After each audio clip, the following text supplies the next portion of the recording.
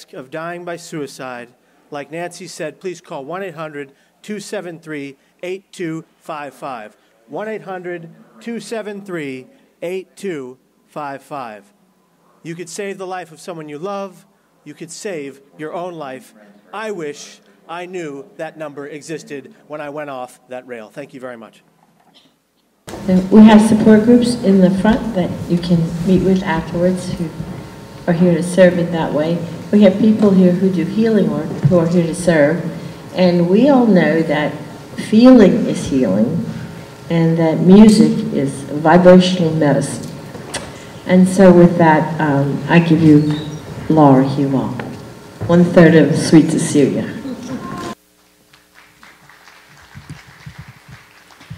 Thank you, Becca, for bringing that very powerful film. I'm sure the panel of experts will have a lot better things to say, so I'll do the, what I do best, what God gave me, the gift of music. Um, as they said in the, the movie, um, hope is something that um, after suicide occurs in a family, it's hard to think that that, that word could ever exist, but um, hope the song that I'm going to sing for you today is a song that I wrote called Red Bird Flies, and it's about hope, about hope that we will see our loved ones again, that they are with us all the time. And um, the song is just simply about people that were in my life that were taken very soon. Um, and then the last verse um, hits home for Lafayette. It's about the Grand Theater shootings, which will be um, the anniversaries on July 23rd this year. So it's for Jillian Johnson and Mayci Breaux as well. So um, I hope you like this song, and I hope I can get through it without crying because um, that was that was powerful.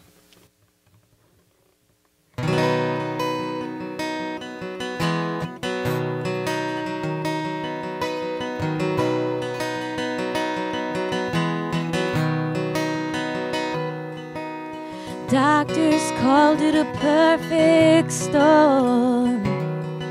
A week later, she was gone. Oh, how they cry. I think of you when the red bird flies. A country concert at the Cajun Dome. Mother daughter date, they were headed home. A drunk driver took her sweet young life And I think of her when the cardinal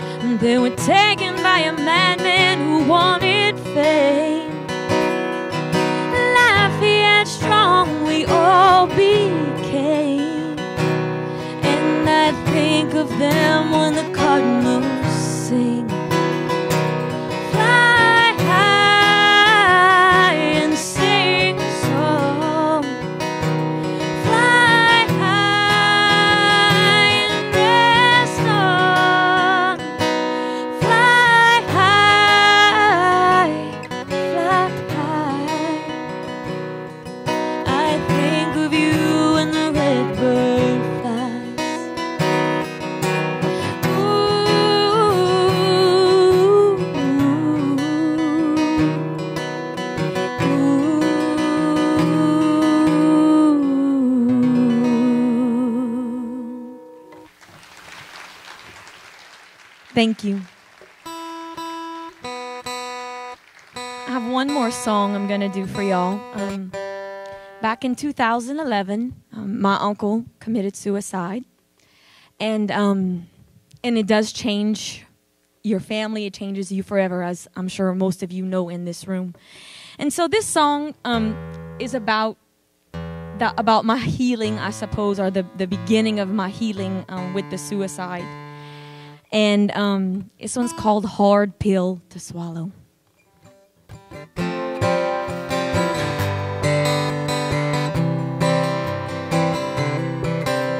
Staring at your picture, I can't believe that you took your life and left this scene. We're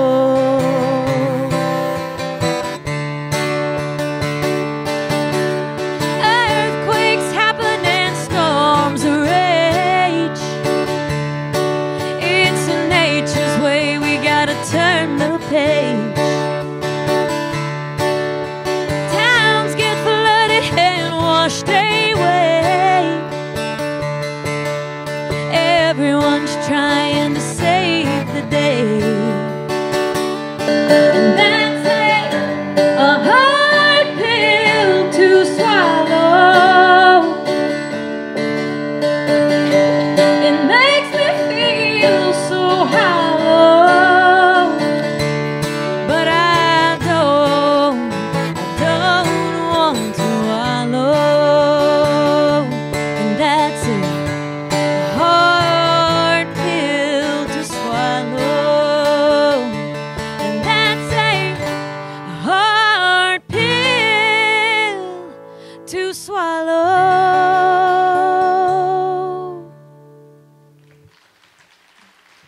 Thank you so much. Thank you, Becca Begno.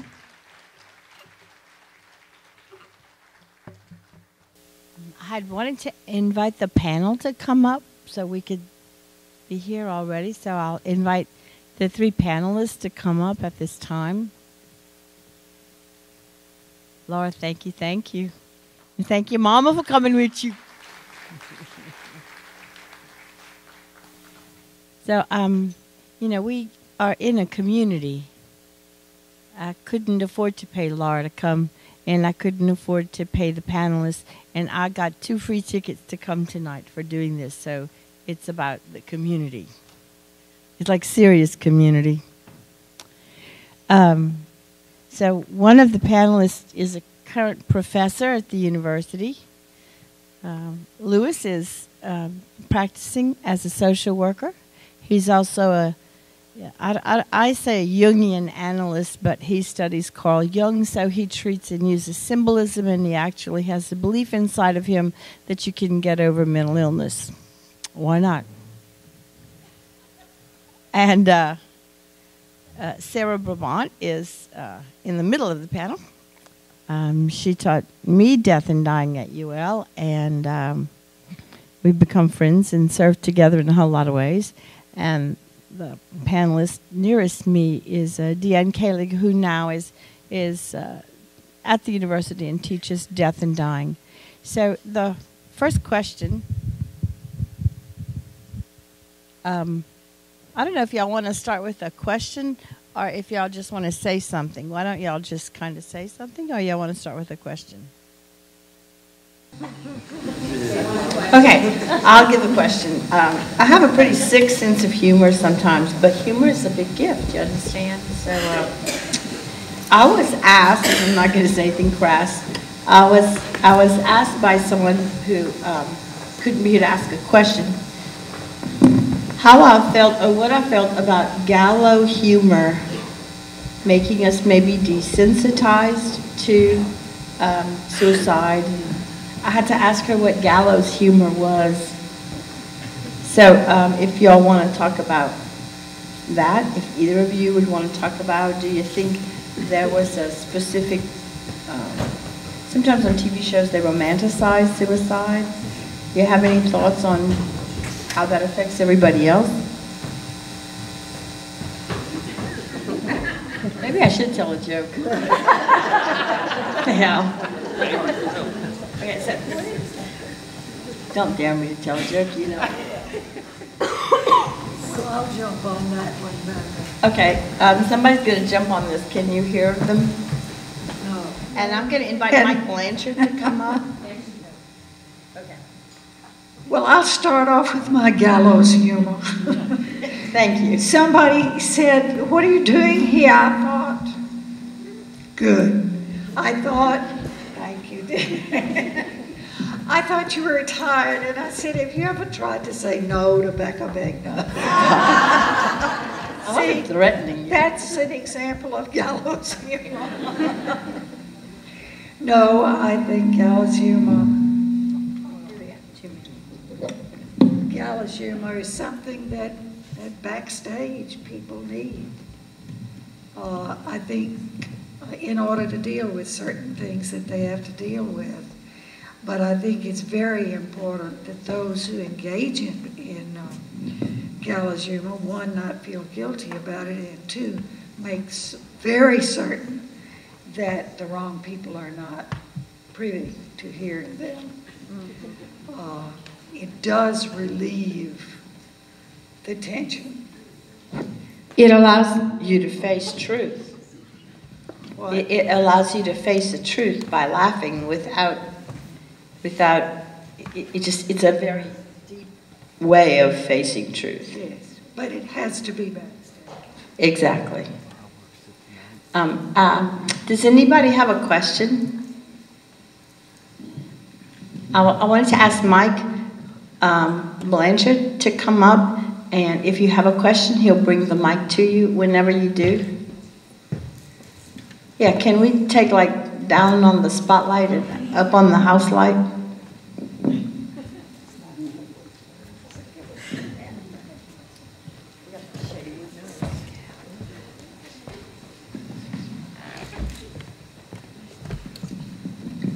So for the panel, the excellent panel, um, what did y'all think of the film? I thought it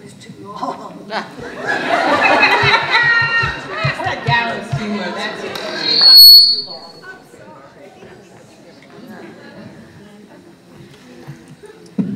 I thought it had some very good, important points that we would want to take away, especially if we didn't have much education on this subject. But I do think that it went on and on, um, and, and maybe lost some of those points along the way.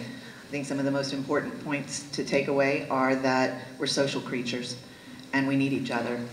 Uh, We need, yes, our family and our friends, but we need the stranger that comes up to us and asks us what we want them to ask us, maybe not, but what we hope for them to ask us, maybe not, but what they instead may ask can you take my picture? We need everybody. And so I think those are important points to, to remember that without each other, humans don't survive. We need each other for survival. The other point that I think we need to take away from this film is that pain is pain. Um, mental disease or mental disorder or mental health issues or whatever label we want to put on pain, it's still pain. And if we talk about pain in a physical sense, and, and I ask you what's the most important or severe pain that you've ever had in your life, and maybe you a back surgery, maybe you had um, an arm that got broken, maybe, maybe you've suffered with debilitating rheumatoid arthritis, maybe you've had a baby. Um, when you're in that moment of severe pain, if someone if someone says to you, balance your checkbook, you can't do that when you're in severe pain. It requires logic and the ability to weigh decisions. And when you're in pain, whether it's physical or emotional, psychic pain, brain pain, as Kevin Hines called it, it's still pain. And when people are in that kind of pain, they just want their pain to stop and they'll do whatever makes that happen. Whatever makes that happen, even if it wouldn't be the same choice they would make if they weren't in pain, when they could think logically and consider the options.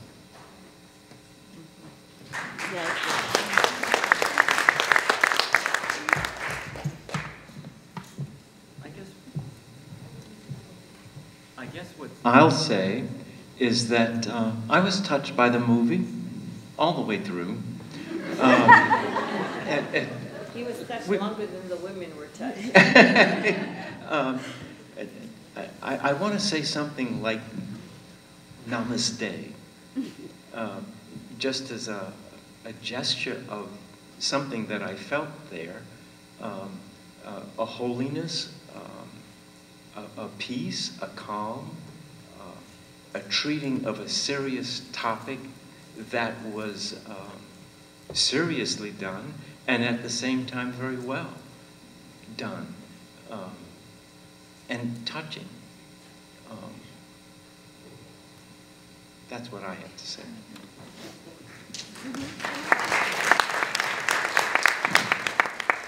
I think my favorite part of it is something that I uh, to hear it repeated so often, and every now and then someone would say, committed suicide. Uh, some years back, Compassionate Friends said, don't say committed suicide. People don't commit suicide, they die from suicide. And, and it's so true that we don't say someone committed uh, lung cancer. or they committed this or that. And, and it, it was so natural in the expression of so many people in that film. People die from suicide. Um, and I sat there thinking how far we've come from the stigma. I can't even imagine, and I, I thank you, Becca, for, for doing this, for seeing this film and bringing it. But can you imagine this even 10 years ago in Lafayette? And we would, at best, there would have been maybe the three of us and you and maybe three or four of you. uh, I, that was a, an amazing feeling of how far, how far we've come. So I want to thank not the film, but you for doing this. I'm happy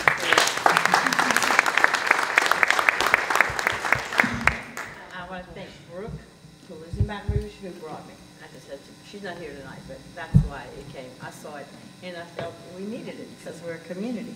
Um, does anybody else have a hand up? Okay. Yeah, I, I just want to bring it to light. Look how many suicides have just happened with people we know don't really know them personally, but we know them from TV. Why, why? why couldn't they get the help? Like I was telling you earlier, I want to die, but I don't want to do it. So what do you say to somebody like that?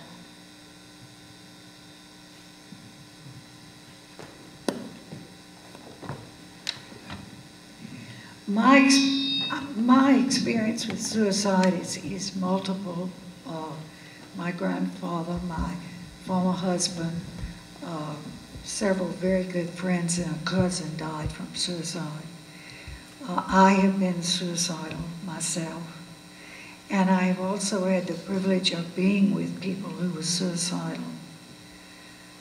I think what this film showed, which is so important, is that we ask questions. We ask people, How are you? And when they say, I'm fine, to say, You don't look fine to me. And to actually ask, Are you thinking about killing yourself? You know, we were taught you never mention because I remember it was my understanding that I could cause someone to kill themselves by asking them that question. We know now that's not true. Many, I was in the early AIDS epidemic, and many, many of those young men wanted to die from suicide, and they talked about it a lot. Uh, to me, they didn't talk to the social workers because the social workers were mandated to report them and I wasn't. what I would respond when they would tell me that they wanted to die from suicide was, What are you going to get out of it? I'm a sociologist. And their answers maybe would address what you're saying. Some fear dying alone in pain or with no dignity because they knew they were going to die. And we could provide answers to that. Acadiana Cares could say, You won't die alone. You won't die in pain. And we will protect your dignity. Interestingly enough, a lot of them told me, I want to piss off my mother. And my answer, or someone else. And my answer would be, well, what if you don't? That would be dying in vain. That would truly be dying in vain. And, and, and they would say, well, maybe I better live. Then I can be sure I off. But the most interesting answer of all that I get and that I share with you is because I don't want to die. I'm terrified of dying. And this will mean I don't have to die.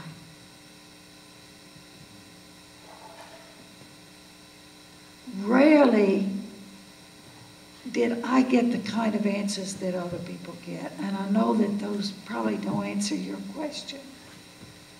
Because I think most of the time it's just I don't have any other options and I cannot live with this pain.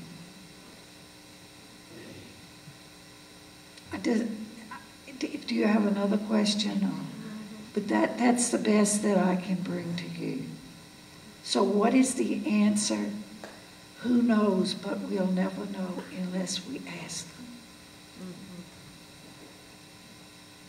Mm-hmm. And thank you for asking that question. I want to add something too. I'm also a sociologist, so we have that. And she is my teacher of death and dying I'm too. taking the class. So, um, but what we as sociologists, we don't prescribe. Uh, we don't write prescriptions out. But whenever I talk with people, I often prescribe and I give homework. And um, and one of the things that I find the most valuable in my, my prescription writing is hugs. I prescribe hugs, lots of hugs. And, and they may be verbal hugs and start with me. Um, and they may be real hugs. and start with me. Because I think we go back, you know, all of us to, there was a caregiver at some point in our lives. Um, maybe it was our mother, and that's sort of the, the figure that often iconic figure is a, of a loving mother, unconditional, always available, meeting all of our needs. And I think a hug is representative of that. And we start with that basic need when we're born, before we're born. And we need it until we die, until the last moment of that last breath. And I think that's what I would say to you is, can I hug you? Yeah, because when you don't have one, he wants to hug you, what do you do? You know, I just got a miserable Siamese cat that is just mean. He's mean, you need to get a nice cat. Well, she's Siamese, you know. I can't believe it. I mean, you know, and it- it's just hard, it's like, when you don't have anyone. Right. It And it's very not that I would do anything, I just know what I want, you know, I mean, I just don't want the pain anymore. Right. And that's what I hear. I don't hear I want to be dead. I hear No. I want my pain to stop and I want to be loved and feel connected. Mm-hmm. And that's what we all need as humans to survive. We should, all of us, do more of that loving. I think I want to give her a hug. That's fine. Group hug.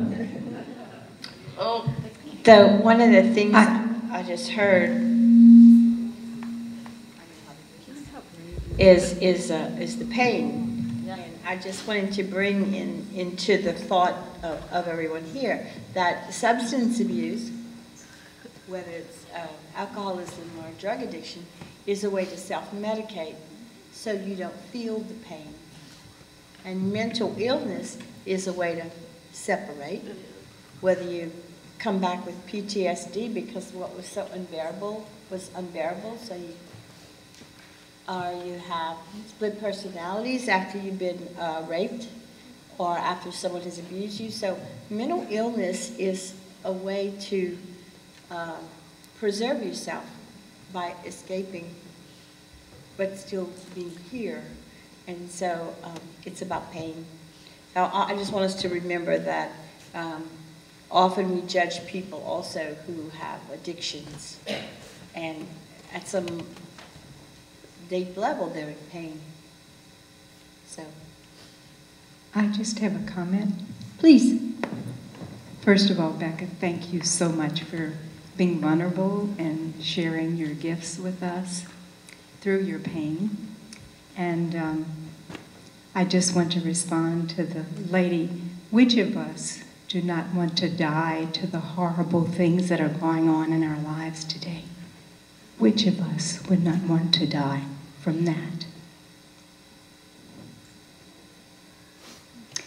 But there is hope. And every day without my God, I could never continue. From what we've, I've seen in hospitals and suicide and death and horrible things that have happened, without my God, I could not survive.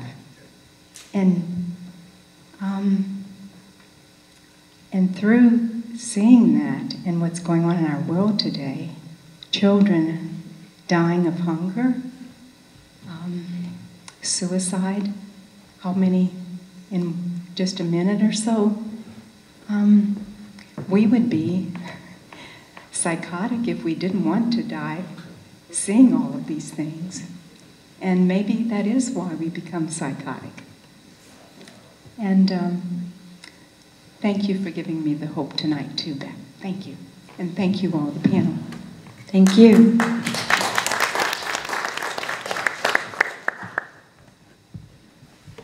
There's also a generational thing that I, I want to just bring up. So as you ask and as they answer, um, when I was 12, my father died from suicide, and then my daughter died from suicide years later in 2012. So the bridge I carry with me is not the Golden Gate Bridge, but I bridged two generations, and how we viewed suicide uh, in 65, and then in my lifetime and then how we view it now sociologically it's changed. And when you talk about this through sociology or anthropology, it doesn't matter where you go to church or what your specific concept of God. So sociologically we're changing and, and this gives us an opportunity to talk about it in that way without so much, it's either my way or your way or um, my culture does it like this and my church does it like that.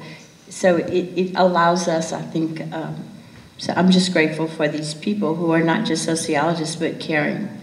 Um, so you have a mic, please, Louis. I'm going to say this. Um, the name that I carry, Louis Archibald, I was named after a man who, in a psychotic break, was taken to Charity Hospital in New Orleans. And after he was there for about two weeks, he took alcohol off a nurse's cart. He was in a ward. And he sprinkled his bed with the alcohol. And at that time, if you remember that long ago, you could smoke in hospitals. and he set his bed on fire. I didn't know about this until I was 40 years old. Uh, after I married, uh, my aunt had given me a picture of me as a young boy. And the picture fell off the counter that we had put it on. And behind the picture of me, there was a picture of my aunt, her toddler daughter, and her husband. And part of what I saw immediately in the picture was that I had never seen that look on my aunt's face. She was at peace. She was lovely. And I had never seen that. She and her daughter, after her husband's suicide, had come to live with my mother and father. I was told, because I had his name, I suppose, that he had died by a heart attack.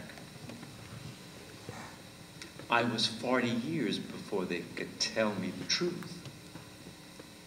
Things have changed a bit. And seeing this movie uh, reminded me of the fact that I carry the name of a man who committed suicide. Some kind of way, my mother decided she liked this man and wanted me to have his name. And I think that in some kind of way, she knew that I was going to work in the arena of mental illness.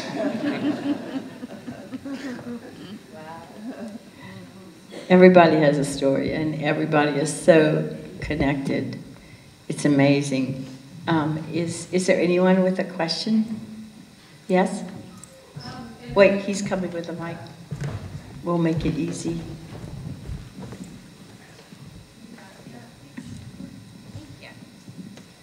Um, in the movie, they were talking about uh, the language that's used around suicide and how you were saying how people don't commit suicide, they die from suicide. And in the um, movie, one of the gentlemen were talking about how they didn't even die from suicide, that they died from depression. So I was just wondering if you had um, maybe any, could explain that a little bit more, or maybe even a more productive or like helpful way of, of languaging that. Thank you. Well, I understand one of the things she said was that you don't commit suicide, you die from it, from it or depression. Like you don't, you can catch a heart attack, but you don't commit a heart attack. So there's something about the will of you to die as part of committed because you committed that. It's like you committed a crime, so we can hold that against you forever. And um, Sarah always, I thought about her so often in the movie, like, how many, how many people would she have corrected by now? So, would one of you want to address that in a greater way? I, I think, well, I know, basically, uh, it takes away the stigma. Uh, a, a, a, person, when she says, uh, why do people commit suicide? Because there's no other choice. The pain, however they express it, is overwhelming. And so to, to say they committed as though with a fully conscious mind and lots and lots of options, they chose to, to die. They chose to kill themselves. And, and that just keeps the stigma going. So they must have been terrible people. You have to remember that it wasn't too long ago that you couldn't be buried in a Catholic cemetery if you killed yourself. You had to be buried outside of it. So it was a crime. It's still a crime, I think, in most states, isn't it? I think it is. To kill yourself. So, how can we have compassion when that is how we think about people who make this final choice that is the only choice they have to stop this pain? Does that answer your question or address it? Um, kind of.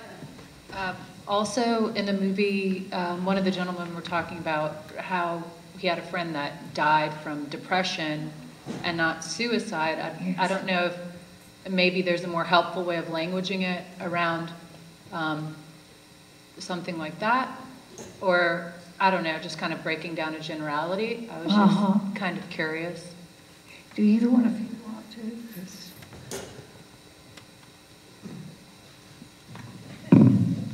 I'm, I'm not sure that I can mandate it, um, but if we could just say that people died from pain. Yeah, I was just curious this is on your thoughts.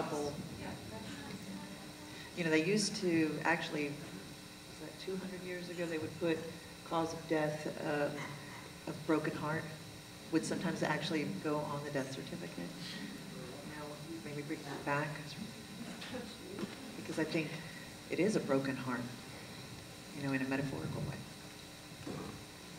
So, for your consideration, uh, my sister is sitting to my right, and our younger sister, Ruthie, com- completed suicide in about 2003.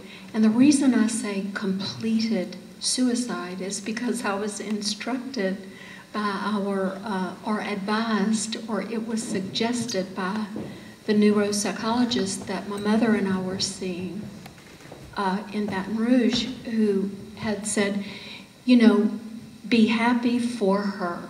She has finally completed something she's been trying to do for 30 years.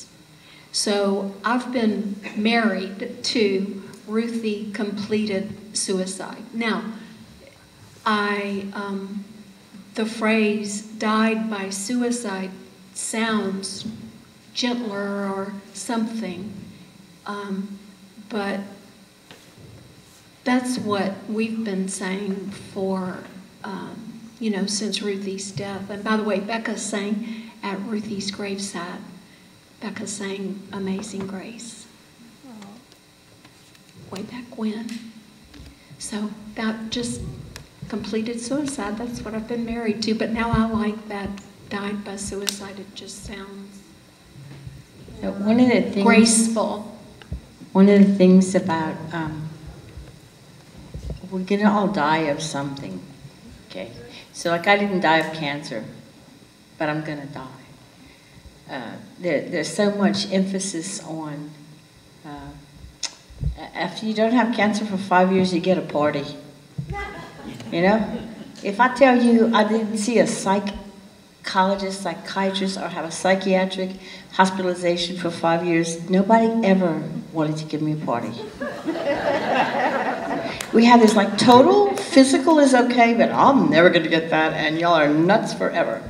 So there's, you know, we have to have some way of of seeing the difference, and I think by suicide rather than commit, depression talks of an illness. The illness that ended up, you know, mental illness can be terminal, but we don't think about that because they're just like wigged. But oh, if you have cancer, we're going to take care of you. So I think part of that too is the uh, mental as as not being perceived or viewed as an illness, but physical illness. You're sick, but oh, you just well, we have other words for. You have a question? I just wanted to make a comment. Sorry, this is kind of. Okay, can we have some like let us see each other? More lights.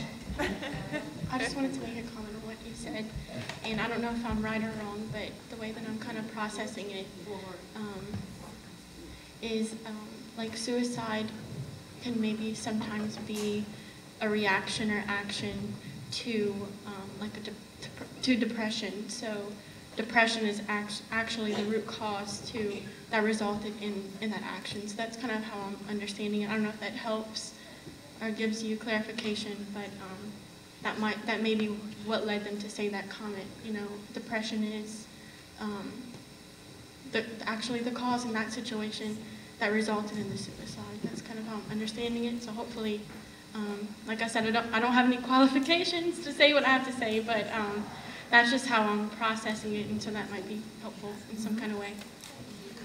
Thank you. Thank you.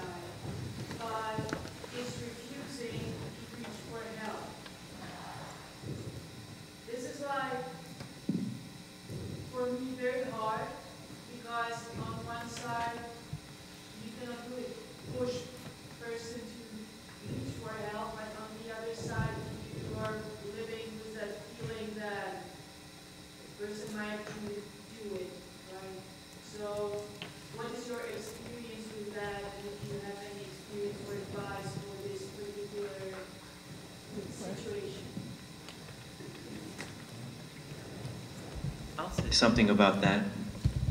Uh, but the frame that I want to put it in is much broader uh, and in some ways more particular because I, I want to say living is hard enough. Wanting to live is difficult. Uh, wanting to live has its, its good points. Uh, but I think that many people uh, have thoughts about dying and, and death and killing themselves. I think that's something that we all go through. If we can understand that that's part of an ordinary experience of life, it becomes easier for us to cope with the issue. Am I going to live? Am I going to die? Do I want to live? Do I want to die? Uh, part of my experience comes from, uh, like Becca, the cancer side, because my brother was uh, diagnosed with prostate cancer, and I was diagnosed with prostate cancer about six months later. And somewhere in there, my brother died, and I'm living, and it's like that's difficult all by itself because there's a grieving process that you have to go through, and you have to want to live. And there's nobody who can make me want to live. And you, I can't make anybody else want to live. And if somebody is in my office and talking to me about significant, serious issues, I can't make them want to do anything about that because they're free. And they have their own intelligence and their own reasons for feeling and thinking the way they do. And I may be able to point this out or point that out or help them to see something but it's like the context is living is hard, dying is hard, deciding that you're going to die, that's a difficult thing. But it's also, it's about pain and how you're going to deal with it, and are there ways for you to face it? And that's always mysterious because what gives me the motivation to want to live? You know, you can't just grab that. It, it's more like something that happens to you and you get it and, and you can live. Um, but if you're having difficulty holding or carrying the burdens that you've got, who's going to give you what it takes to do that? I certainly can't. But something can. But can you find it? So there's always something that's out of our reach that we're reaching for, that we would like to have, but also that's beyond us. So there's always mystery there. And I think that's an important piece. But that's also where hope comes in. Yeah. Because if hope helps you look and reach and see maybe a slightly different way, and you can say, oh, I can live with that. Well, that's something. Because you're finding a way to adjust and adapt to what you're having to carry, what you're having to lift and load. And you're saying, okay, I'm going to live with that. And that in itself is as much something that happens to us. It, it's what, in, in a religious framework, you would call grace. But it's also a psychological decision that we make responding. But it's all kinds of things working together that bring us into that place. And you can't just grab it or tell somebody you got to because it doesn't work that way. That's what I have to say. Thank you. I think one thing we have to remember is that we all in this room have the power to leave and die tonight. But there's such a great fear of death. There's even a greater fear of mental illness in some ways, because that's a lack of control. Dying is. But we got to see this man who wished he hadn't jumped off before he hit the water. And it kind of takes, or maybe puts the mystery back. We can't know what other people are thinking. So, kind of when you someone is, is sharing that I would like to do that, you can just know or say, well, I know you want to, but what do you really want to do? I know you can, but I know what, but what do you want to do? They're, they're wanting to live is usually has something else, like Sarah said.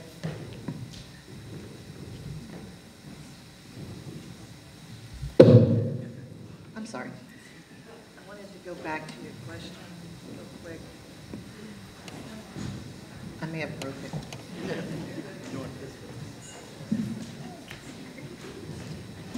Or uh, if I was in your situation, and I'm trying to see where you are, get there you are. Um, because the person is coming to you, they are in, in effect asking for help because they've said that to you. So I would see that, I would interpret it that way myself if I was in that situation. And I would say to them, and I have many times, uh, sometimes it's a student who's standing in front of me with a late paper, and I, I just read something different that day in their demeanor. Um, and sometimes it's someone that I'm working with really closely and I know them very well and I definitely pick up something different in their behavior and I ask about it. And I'm, I'm very direct about what I'm asking and I, I will say, are you thinking of hurting yourself? You seem very upset today. I care about you and that's the, the reason I'm asking.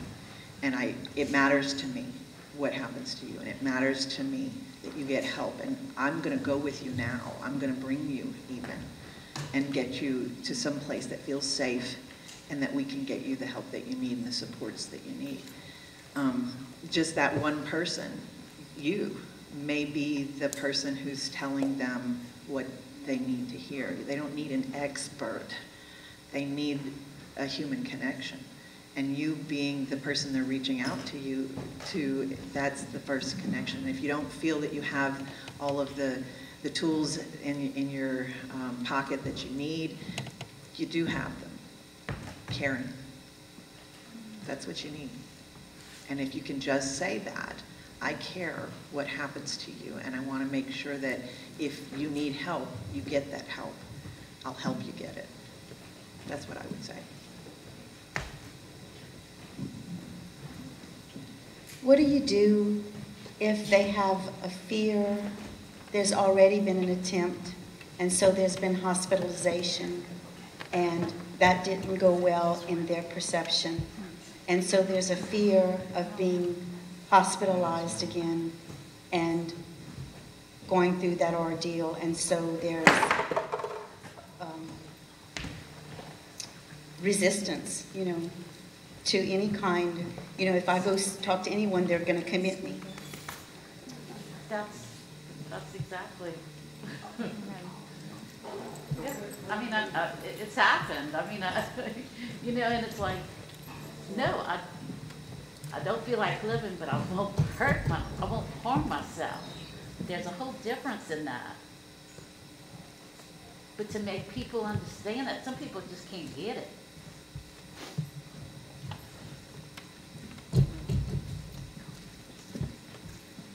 The one that works. This is the one that works. I, I hear what you're asking. Um, I have called the police. I- I think there comes a point when an individual with very few choices is trying to make a choice. And I, as a human being, have to make a choice.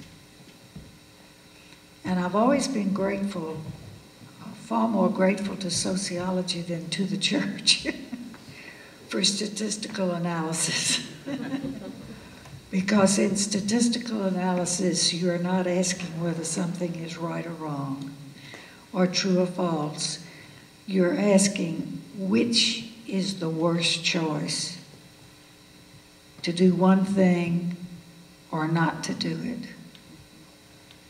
And I think that's, well, I know that is where I am and where I've been. If I make the choice, is it, is it better for me to make the choice to remain this person's friend and have this person die? Or to lose this friendship and bring in someone who's better qualified than me? And that makes it simpler for me. If I, if I try to deal with, is this right or wrong, I, I get, I get off.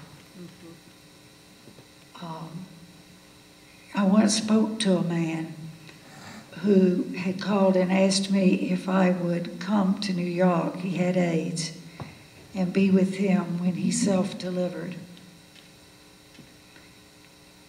And I thought about it and I called him and told him that I couldn't. Uh, and he cursed me. he said, I hate you. I thought you were my friend. Now I know you are not. And I would call him, but he would never receive my call.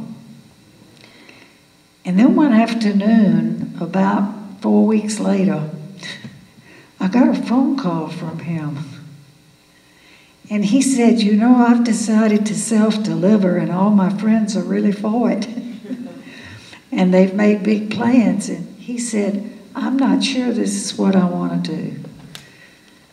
And he said, You did what you thought was right for you. So I decided to call you. Should I, well, that right there's got that nasty word, knows you in trouble. Should I self deliver? I don't know whether it's right or wrong. And that was when I first hit on our statistical analysis. This was Martin Levine, a famous sociologist. Um, he, uh, I said, I don't think it's a question of whether it's right or wrong. The questions are would it be worse for me to live when I should have died or to die when I should have lived? And he said, I've got to think about that. he decided not to self deliver. And I spoke to him shortly before he died, which was a blessing for me. But I think in answer to your question, you have, we have to, or I have to decide what can I live with. And at one time I did, I called the police. The person had taken pills. The voice was beginning to slur. And did it destroy our friendship? Yes. She's never had anything to do with me since.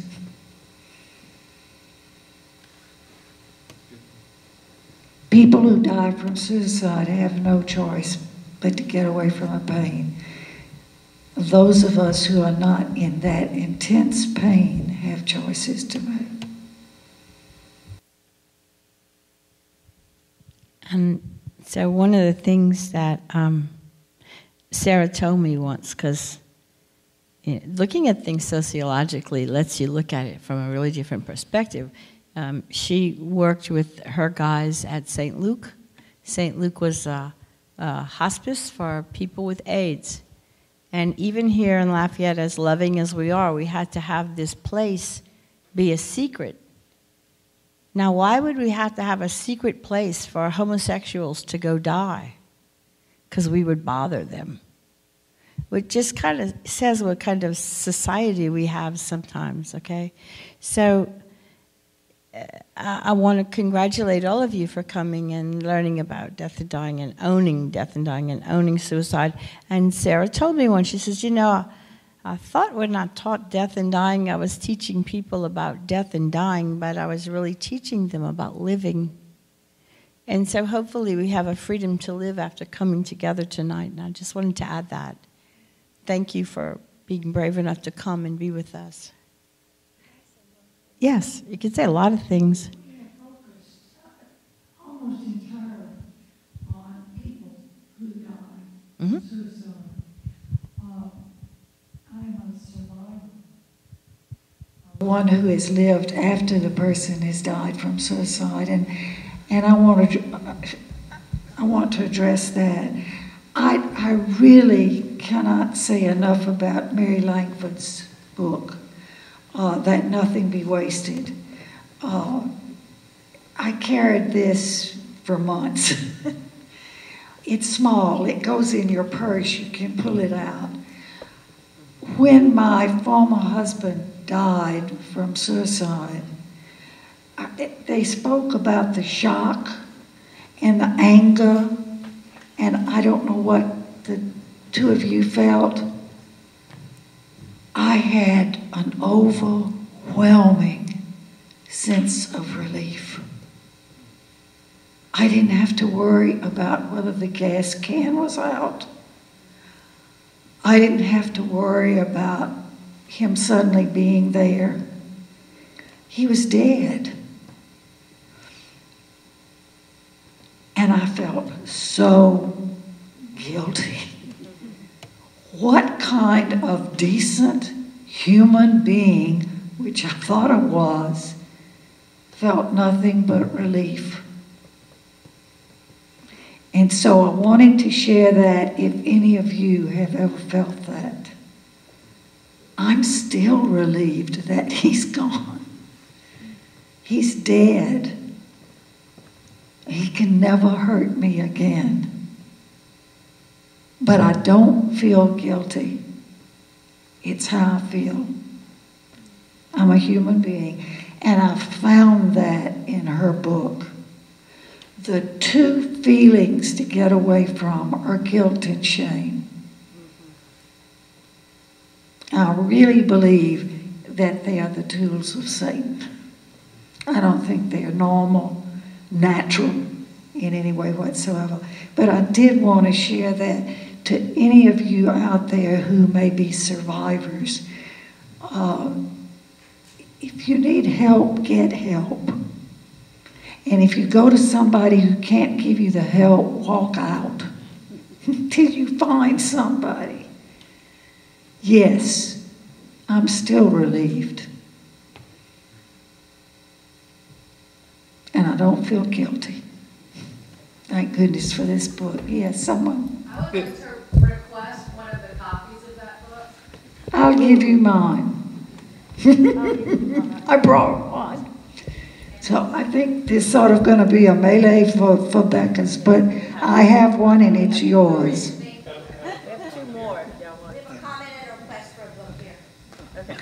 Th- This is, uh, I guess, I guess, a comment. Many of us here have lost loved ones to suicide, and I strive not to say committed suicide because we've all lost loved ones probably to suicide, but we've lost loved ones by other means. My mother died of a heart attack.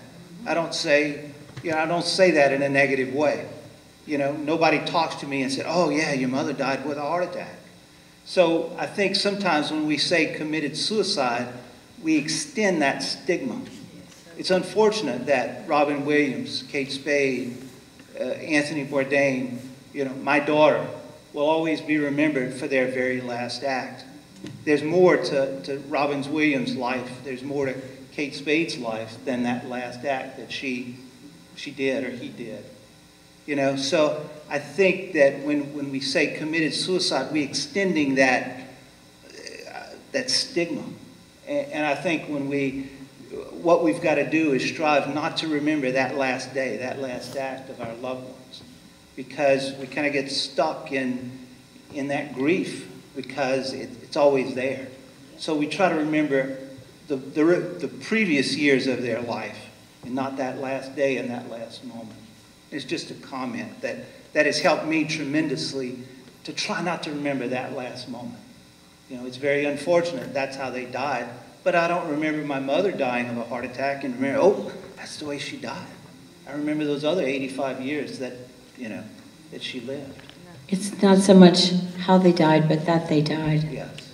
But we make it about how they died. Unfortunately, yes. And so, um, I, I would like to know what time it is. Okay, um, I'm going to tell y'all something that I think is funny. Okay. Okay. Um, I have a question about how to see the warning signs in, uh, for suicide on social media.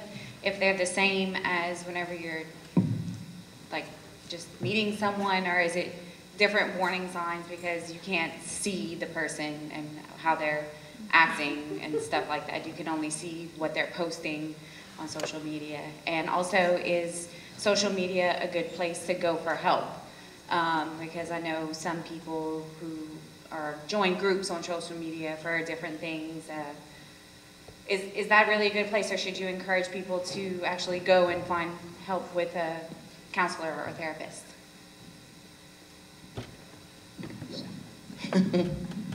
You know, the, the answer to your question is going to be very practical and what works. For some people, a, a social media site may help them very much. Uh, I know of some people who have used, for instance, uh, a social, a social media site to deal with a, an addiction to porn. Uh, you can find sites that are very helpful. There are not, it's not everybody who's going to want to do that. Some people are going to want a face-to-face. Some people won't. And it really depends a lot on the person and what works. And, and you know, that's a, that's a gospel principle. By their fruit you'll know them. It's what actually helps. If it doesn't help, it ain't good. Period. Thank you. No, I just wanted to say that in being the bridge of two generations, uh, I was one of the first volunteers with the Extra Mile, and in I think '92, uh, I won a prize as a Client of the Year. Okay, so we go a long way to say the things in the right way, but you know, it doesn't matter what you say, you know. So my, at that time, my son was working at Tampico's. He was in high school, I think. He hadn't graduated. So I go and some of his friends are there, and one of the bartenders comes up to I'm sitting at a table, except it's round, and they said, Oh, Mom, congratulations. I, I heard you won a prize. And I'm like, Oh, shut up. I kept that under my breath, you know. And so I'm sitting by these three people. There's one guy and two girls. And the girl closest to me said, Oh, congratulations. What did you win? so I said, Well, Consumer of the Year. So then, so then, she said, more than anybody else? I'm like, I was consumer for the whole state of Louisiana. I'm not the craziest person in the whole state. I said, um, no, I, I, no. Well, what did you consume? God. So then I just, you know, you tell the child or you answer the question, even if it isn't a child, only what you want. Mental health services. So then she looks at the other lady across the table. She, she points to that other lady. She says, Oh, you should talk to her because she works with the developmentally disabled. And I said to her, I'm crazy, I'm not retarded. You know, so instead of deciding that it's okay to have a mental illness, you can't say that. So we're going to find a name that has no charge and it's going to be neutral. But if you still treat them like they have mental illness in that ugly way, it doesn't matter what we call each other, it matters how we call each other. So the young man that was sitting between these two girls, he left the table because I scared him. You don't have to do too much. So at the end of the evening, my son was at the door, and he there's another circle of people, and the young man was there, and so he, he looked at this show. He said, "Did you meet my mama yet?" Nope. He gets like all serious, you know, and then he does this. I mean, serious. He goes, "You mean the case?" And, and so he just, you know, put his arm around me and pulled me next to him. He says, "Yeah, that's my mom." So there's something about being open about this but all of my openness did not stop my child from taking her own life. So it's the question of you can only answer for yourself, we can't answer for other people. So I just want to thank you for coming and, and being open and being here. And I don't know if that's gallows humor, but I can laugh. Um, thank.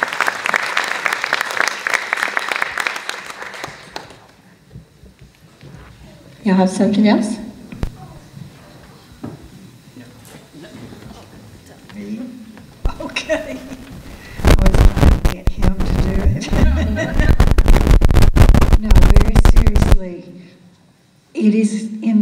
Entirely possible that someone contemplating suicide came here tonight. If you are contemplating it and you came here tonight, please, please come up and let us know. Don't go out into that dark alone. I will stay here. We will be here. I got up at 5 o'clock this morning to be on TV. Y'all got this. Y'all wouldn't come, huh? We will be here. We still